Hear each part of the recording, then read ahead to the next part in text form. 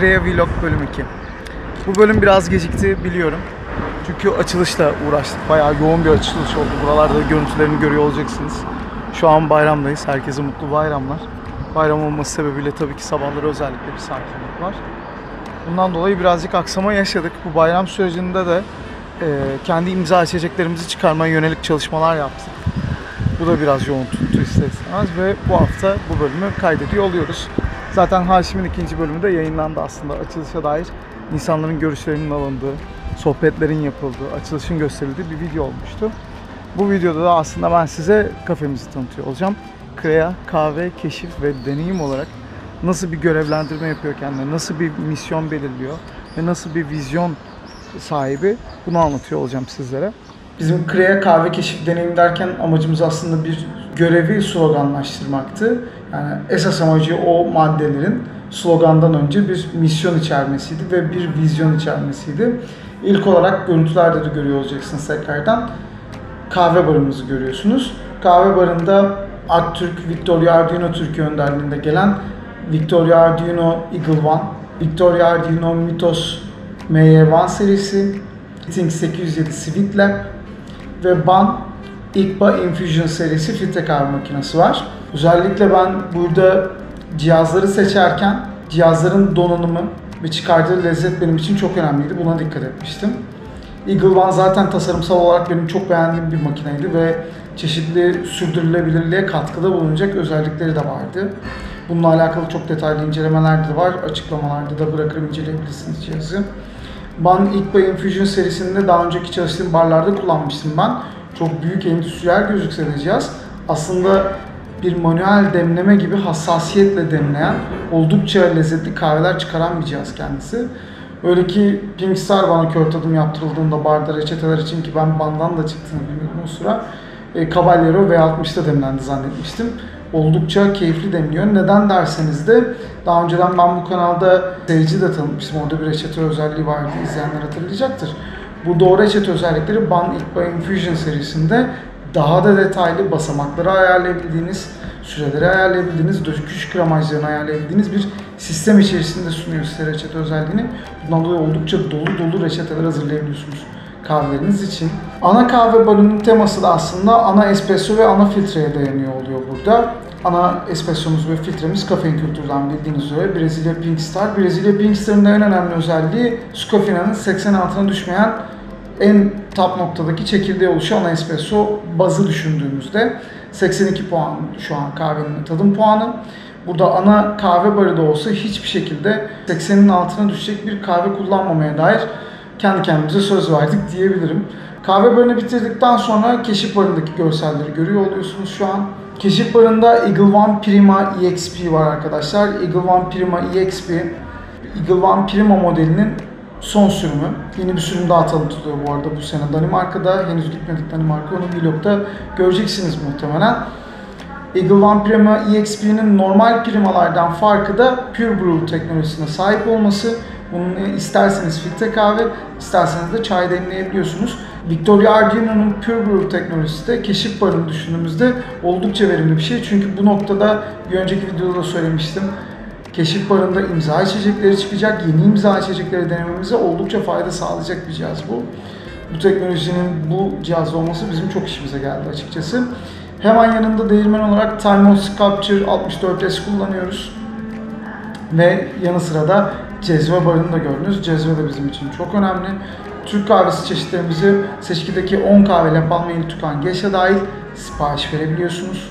Ve bunların da yine birazdan konuşacağımız tadım menülerine de ekletebiliyorsunuz farklı kahveleri.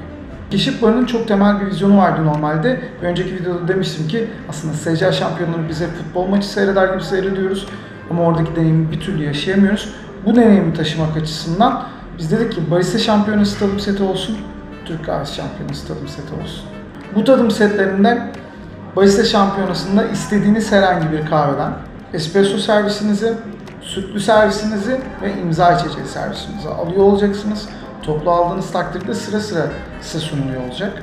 Ayrıyeten de Cezvebrik şampiyonası için Türk kahvesi tadım seti menüsünü sipariş edebilir. İstediğiniz kahveden Türk kahvesi demletebilir ve bununla beraber de imza içeceğinizi alabiliyor olacaksınız.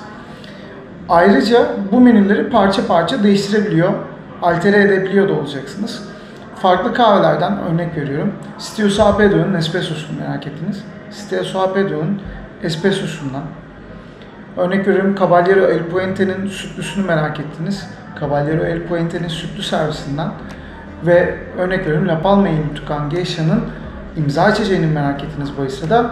La Palma Il Tucan Geisha imza içeceği alıyor olacaksınız. Aynısı Türk Kahvesi Şampiyonası menüsü için de geçerli. Örnek veriyorum Kenya'dan bir Türk kahvesi aldınız. Ve örnek veriyorum Sitio Sao Pedro'dan imza içeceği merak ettiniz. Bu şekilde menünüzü konfigüre edip farklı farklı siparişlerle de farklı servisler alabiliyor olacaksınız. Şu an önümde gördüğünüz içecek de 2022 Türk Kahvesi şampiyonumuz Kevser arkadaşımızın imza içeceği. Şu an menüde açık halde biz de duyurularını bu videoyu hazırlarken de bugün içerisinde yapıyor olacağız zaten. Tadım menüsünde sipariş edebileceğiniz barista için imza içeceği önümde görmüş olduğunuz cezvebrik kokteylini, imza içeceğini sipariş edebiliyor olacaksınız keşif barımızdan. İmza içeceklerine dair detayları da Instagram'ı takip ediyorsanız yayınlayacağımız postlarda da görüyor olacaksınız. Son aşamada toplantı salonunu gördünüz. Aslında burası önceki zamanında da bir toplantı salonuydu. Ama biz dedik ki bu aslında deneyimin bir devamı olmalı. Zaten mekan sıralaması da aslında sloganımız gibi gitti bir anlamda. Neden deneyim alanı dedik biz bu alana? Biz burası atölye olduğu zaman tadım eşleşmelerini, tadım eşleşmesi çalışmalarımızı, çeşitli lezzet tadım atölyelerimizi, ufak tefek de olsa çeşitli teknik atölyelerimizi burada yayınlayalım ve deneyimi artıralım istedik. Bundan dolayı da aslında. Ayrıyetten deneyim adı altında bir menümüz de var bizim. O da bu alanda da atölyeleri olacak o menülerin. Kopartmak istemedik menü bağlamında bu noktada eşleşmeleri. Biliyorsunuz geçen sene ben Kafein Kültür'de yazın kahve peyniri eşleşmesi yapmıştım. Bir kahve, bir tek yöre buğdaydan ekşi ekmek ve bir olgunlaştırılmış peynir kullanmıştık. Eşleşmelerimizde 5 eşleşme içeren bir set yapmıştık. Burada iki eşleşmesi olacak. Bir peynir kahve ekmek eşleşmesi olacak. Ayrıca yeni bir eşleşme menüsü daha çalışıyoruz. Maltepe'de, e, Maltepe gastronomideki hocalarımızla da konuştuk. Fikirlerini aldık. Onlar da gelip deneyecekler ön demolarımızı bizim. İki servisten oluşacak yeni bir set üzerine gidiyoruz bu sefer de. Focaccia bir soğuk sıkım zeytinyağı herhangi bir karakterde olabilir istediğimiz bağlamda kullanabileceğimiz bir soğuk sıkım seçmek istiyoruz bu noktada eşleşmeye uyabilecek ve yanına da o eşleşmeye uyabilecek bir kahve eşleştireceğiz. İkinci setinde de bir ekşi maya ekmek, başka bir çeşit soğuk sıkım zeytinyağı ve başka bir kahveyle de bir eşleşme daha çalışacağız. İkinci setimizi de bu şekilde tamamlamış olacağız. Böylelikle toplamda 4 servis içeren bir tadım menüsü deneyim başlığı altında bizlerle buluşuyor olacak. Deneyim alanında da atölyelerini yapıyor olacağız. Evet dükkanımız açıldı. Açılışımız çok yoğun geçti. Gelen herkese çok teşekkür ediyorum. Bayram olmasına rağmen beklediğimiz temponun üzerinde gitmeye başladık. Bazen sakin tatlı, bazen kokteylleri çalışabildiğimiz, demolarını yapabildiğimiz, bazen de müşterilerin bu demoları tatmak istediği hatta sipariş ettiği günler yaşadık. Tüm gelen müşterilerimize, misafirlerimize ben şu an çok teşekkür ediyorum. Bu videoyu izleyenler sizleri de mekanımıza bekliyoruz. Bir sonraki videoda görüşmek üzere.